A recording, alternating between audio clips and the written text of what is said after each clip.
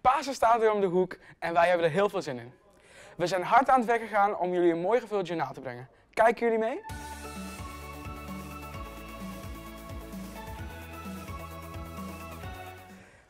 Ik hoop dat je het gevoel van paas zal hebben. En als niet, krijg je die hopelijk nu wel. Wij kijken voor de paashaas. Nog net niet. Bijna. Zo niet. Ja, omdat ik ander werk heb. Wat ga jij doen met Pasen? Ehm, ik ga ehm, eh, niks doen, denk ik. Wat ga je nog meer doen met Pasen? Niks. Niks met familie of zo?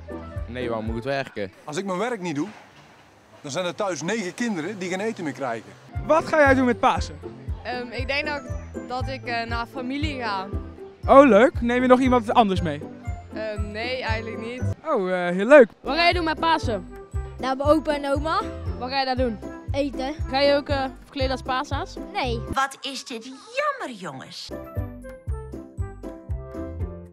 Wij hebben dus een eh, aantal paaszijden verstopt voor jullie. En jullie mogen die zoeken. Het is hier in de aula.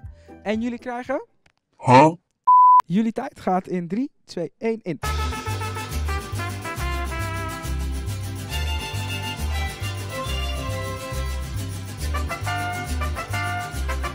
Nou jongens, dit was de race. Ik hoop dat jullie ervan hebben genoten.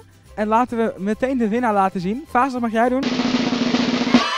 Hey! Nou, dankjewel voor het meedoen en eh, ja, doei.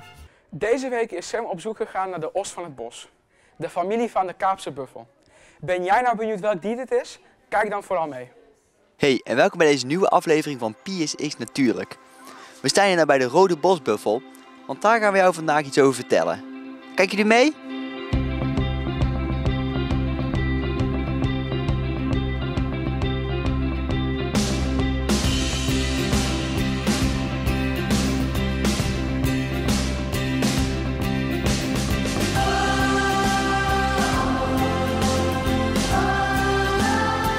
De rode bosbuffel is perfect aangepast op zijn leefgebied. Hij woont namelijk in de bossen, zoals zijn naam al zegt. Eigenlijk in de oerwouden hier van Afrika. Hij heeft namelijk niet, net als een Kaapse buffel, horens die recht naar boven staan.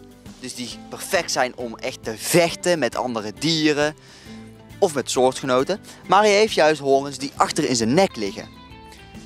Oftewel, perfect om mee door de bos heen te rennen dier vecht dan ook niet heel erg veel met de roofdieren.